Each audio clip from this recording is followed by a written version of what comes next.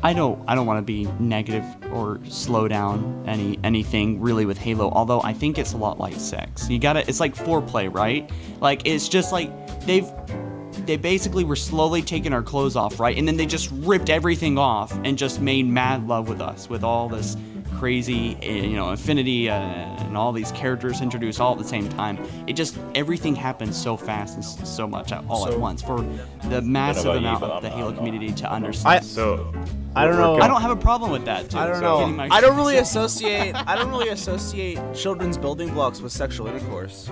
That's just me. Halo is officially a one night stand.